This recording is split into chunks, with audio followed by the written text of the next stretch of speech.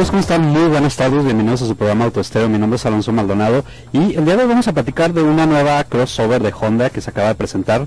Si ustedes compraron HCRB, no se asusten, no se trata de un sustituto ni nada de eso, pero hay una, un nuevo crossover que se acaba de presentar a nivel, a nivel mundial, así como de la unidad 100.000 de Volkswagen Vento que llega a México. Bienvenidos. Ponte al volante, ajusta el cinturón y enciende tu auto estéreo. Auto estéreo. Bienvenido al mundo automotriz. Esto es Auto Estéreo con Alonso Maldonado.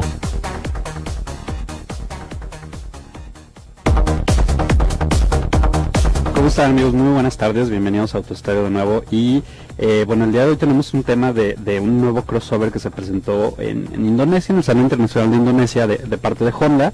También vamos a platicar un poquito de, de la unidad 100.000 que fue exportada ya a México de parte de la, de la planta india de Volkswagen, del cual nos llega el vento. Pero antes les recuerdo nuestros números de teléfono para que ustedes nos puedan llamar, nos puedan contactar, nos puedan hacer sus preguntas. Eh, también comentarios o si tienen algún algún tema de alguna marca o de algún automóvil en especial, lo pueden hacer a través del 3122 4200, 3122 4266. También lo pueden hacer a través de las redes sociales y también ahí se agradece que le den pues like a nuestra página de, de Zona 3 Noticias, que es Zona 3 Noticias en Facebook. La página de Autoestéreo también ahí entrar y darle like, que es Autoestéreo.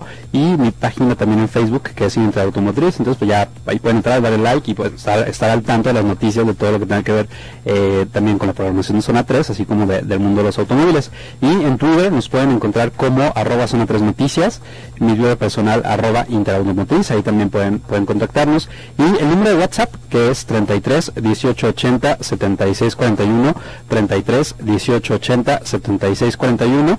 Y bueno, pues ya a muchos de ustedes ya los tenemos incluso aquí registrados para saber en cuanto nos mandan mensaje, eh, pues saber, saber con quién estamos platicando y bueno, que ustedes también se sientan con esa cercanía hacia nosotros para, para poder agarrar, tomar su celular y, enviarnos un mensaje.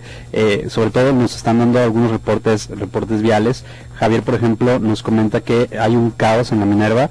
Si ustedes nos están escuchando por la Minerva, eh, pues tranquilos, ya me ha tocado estar en este tipo de caos en los que es mediodía, viernes, nadie avanza, todo el mundo quiere cambiarse de carril, eh, los que van pegados a la glorieta se quieren, quieren atravesar los cinco carriles a la derecha y salirse y viceversa, ¿no? Es un, es un caos, literal. Yo me ha tocado estar ya en este tipo de, caos en la Minerva y bueno, pues un abrazo a todos ustedes que están ahí, los que nos estén escuchando por ahí, tranquilos, si su auto cuenta con aire acondicionado, pues préndanlos, traten de estar cómodos y bueno, pues hay que tener paciencia y también adelantarse a lo que queremos hacer, ¿no? Como les decía, si quieren, eh, si van a tomar una salida, pues hay que adelantarnos, seguimos yendo a los carriles, a los carriles derechos y si van a dar más vuelta a la, a la glorieta, pues irse, irse hacia los carriles izquierdos. De repente, eh, la Minerva, gracias a que no tiene el balizamiento adecuado, porque pues a alguien se le ocurrió poner ahí un, concreto estampado muy bonito y no lo quieren arruinar poniendo balizamiento, eh, bueno, es lo que lo que por ahí se sabe, pues que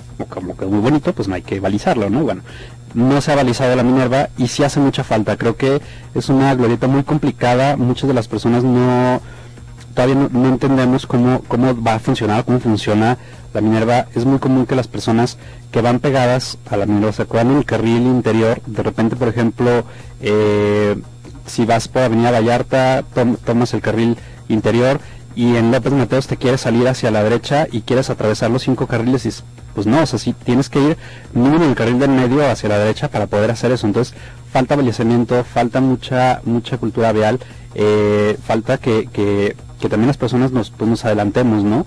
Este nos está llegando precisamente otro WhatsApp de terminación 8268 y eh, el licenciado Franco nos comenta falta cultura vial, agentes viales, en cada nunca se aparecen. Ah, también ese es otro tema, ¿no? De repente, eh, y a mí me ha tocado, ¿eh? o sea, que, que cuando no, o sea, no haces, nunca haces nada mal, pero cuando de repente dices, me doy la vuelta porque ahorita alcanzo, y sale, ¿no? El, el, la, el agente vial de así, de la nada, y oiga, es que arrancó dos segundos antes de que, de que se pusiera en verde, o justo cuando arrancó se puso en verde, pero pues arrancó antes de que estuviera el verde, ¿no? Y cuando hay este tipo de situaciones, que hay caos, que hay eh, semáforos descompuestos, es, es cuando no estamos, es como, no sé si sea como una parte de temor de decir, no, mejor no me aparezco porque va a estar peor, y, luego a veces también es otra, cuando se aparecen y empiezan a, controlar los semáforos por su cuenta, eh, pues el caos se vuelve, se vuelve peor, ¿no? Hay que, hay que, pues también nosotros anticiparnos y a los agentes viales, pues Javier nos reporta que está por ahí la minera hecho un caos, hay que hacerse, hay que hacerse presentes y pues tratar de, de, organizar el, caos también. Eh, nos comentan que el tráfico pesado a Plaza del Sol, ahorita Colón y viceversa, López Mateos por medio de 10 kilómetros por hora, pues hay que evitar, de repente a mí me ha funcionado mucho tomar laterales, sobre López Mateos creo que hay ocasiones en las que avanzas avanzas más rápido que los carriles centrales, entonces bueno, pues también es una una de las opciones y lo que está sucediendo en, la ciudad de Guadalajara. Muchas gracias y bueno, seguimos esperando que nos, que nos platiquen qué es lo que está pasando y pues tranquilos, finalmente el tráfico está ahí, no vamos a poder volar, no, no, no vamos a poder hacer nada, hay que tranquilizarnos y eh, pues escuchar autoestéreo y el día de hoy, por ejemplo, el tema que tenemos de, de Honda y me parece interesante porque este, este Honda se llama BRB, o sea, B de burro, eh, R y, y, B de vacas, así como raro BRB, y estará por debajo, o, se planea que esté por debajo de, lo que conocemos como HRB. Ahora, lo interesante es que no se presenta ni en el Salón de Frankfurt, porque está próximo, no se presenta en un salón así de los grandes reconocidos, por lo menos en este lado del, del, mundo, en el occidente. Eh, se presenta en el, en el salón, en el Auto Show Internacional de, de Indonesia, y se presenta ahí porque será fabricado en esta región. Y este este prototipo aunque bueno ya la verdad es que lo podemos ver como como un, automóvil de producción aunque la marca todavía dice que es un prototipo pero ya o sea de, como lo ves a como lo, se, lo pudieras imaginar en la agencia está igual. Entonces este BRB lo que desde mi punto de vista lo que viene a ser es una opción más pequeña y más económica que, que HRB Todavía no está confirmado ni que se vaya a, introducir al mercado mexicano, pero me llama la atención que sea Honda México quien nos hace llegar este boletín, ¿no? O sea, es como, eh, oye, se presentó esto por acá, pero bueno, te lo mando y, pues quién sabe, ¿no? En una de esas, si lo traen a México, porque si no, pues no tendría a lo mejor mucho, mucho caso el, hacer el boletín.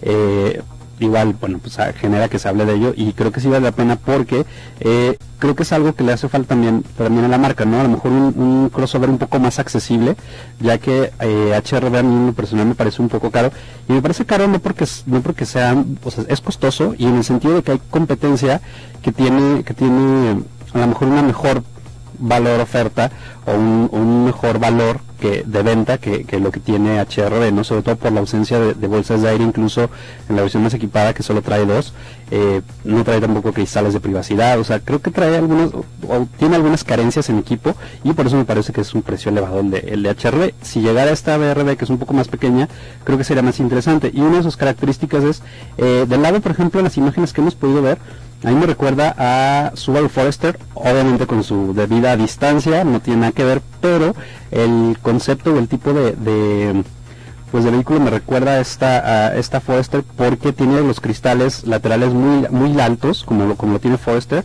que es una, es un SUV que, que tiene los cristales muy altos y tiene eh, la parte laminada un poco más, un poco más corta, entonces está como, como muy a la mitad y te da esta sensación de mayor, eh, a lo mejor de mayor altura o de mayor luminosidad dentro del habitáculo y también las calaveras traseras se ven un poquito similar a lo que, a lo que vemos en el Forester. Lo que sí es que el frente pues parece también calcado de, de, de CRB, ¿no? Entonces eh, hay una por la puerta trasera tiene una pequeña como curvita hacia abajo a la mitad que le da cierto pues toque de divertido por así decirlo dentro de lo divertido que puede hacer un Honda eh, un toque divertido a la parte lateral y bueno mecánicamente se prevé que este que este BRB tenga un motor de 1.5 litros con tecnología IBTEC que estará acoplado o podría estar acoplado a una caja manual de 6 velocidades o a una caja CBT, esta CBT que se ha, que se ha puesto de moda sobre todo para, para el tema de consumo de combustible.